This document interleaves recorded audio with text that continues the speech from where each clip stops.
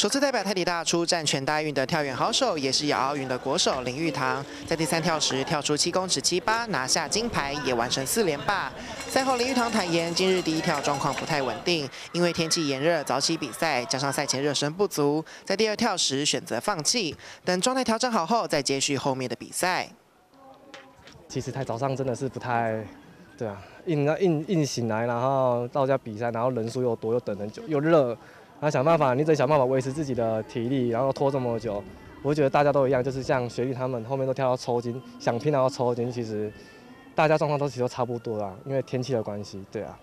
四十个人数太多了，如果我第一跳、第二跳都要跳的话，我等于说我要热身三次，就变成说我第二跳可能休息完四十分钟到一小时，然后因为一些田径规则的原因，我没办法在操场热身，所以变成说你会增加一个受伤的风险。那我不如就是第二跳 pass，我第三跳的，因为我已经确定进决赛，我第三跳当一个热身去跑助跑，让自己身体活络之后，然后一跳四五六跳，策略是这样子啊，就是不要让自己热了又休很久，热了休很久，这样很容易累。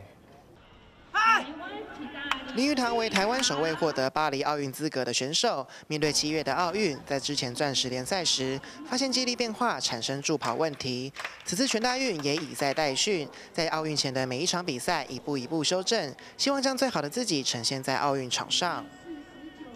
其实也没说哪一个助跑最好的，就是你今年适合哪个助跑，适合你的身体，那就是好的。那只是这都是需要说用时间或是比赛去抓，因为像我。从受伤恢复回来，可能只有跑个四次五次全程，就是这四到五天练习这样子，然后去比赛。啊，上个礼拜回来之后又来比全大运，就休息完比全大运，只能借由比赛的强度去抓，在比赛中什么助跑适合我，而不是在练习中什么助跑适合我。对，是在比赛的时候。之后可能六月份六月中吧，看国腰赛的，哎，国腰赛的跳出来的成绩，或是说我助跑都有感觉。中间六月份中可能会再排一场，安排奥运前夕的。一场最后一场备战，然后就关起来准备去奥运这样子，对。田径赛程的最后一项赛事为公开男子一千六百公尺接力，台体由王博雅、徐少凡、杨俊纯、林仲威以三分十秒四二拿下田径场上的最后一金，完成二连霸。今日全大运田径赛程落幕，台湾体大在田径共夺下十三金、五银十铜的好成绩，也为本届全大运画下完美的句点。记者许彦宗、蔡子平、陈柏勋、林云君台中报道。